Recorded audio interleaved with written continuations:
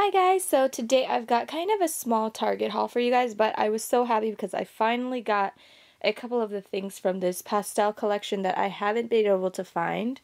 But me and my sister went to her boyfriend's apartment and there was a big Target by it and it had almost everything I've been looking for. So let's start with the small things. This is just a pack of pencils that I picked up and they say a bunch of cute things. Let me open it up for you guys. Sorry if I'm a little stuffed up, guys. It's early in the morning, and my allergies tend to be really bad in the morning. This one says notes. This one says thoughts. This one says scribbles. I love this blue. This one says to do later. This one says don't forget. And this one says curiosities. So I just picked these up because I liked what they said, and I'm probably just going to use them to decorate my desk with whenever I get a good one. So yep, that's these.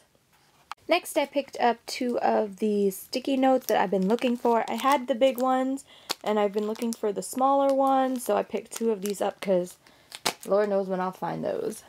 Next I got some page flags, finally. These are from the pastel collection. These were the summery ones.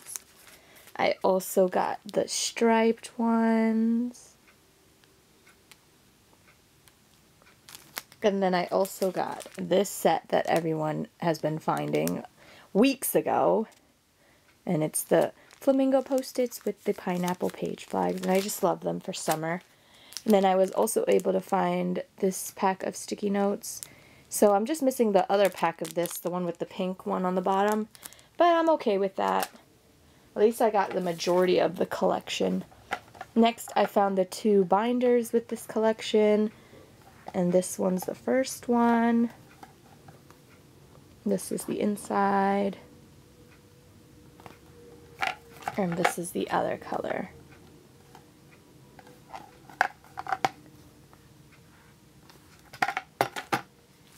Then I also got some file folders with that went with this collection just because I thought they were really cute and I could make some dividers or something in my planner. So, comes with three. And these are the designs. Can't really see what this one says. Oh, things to do later.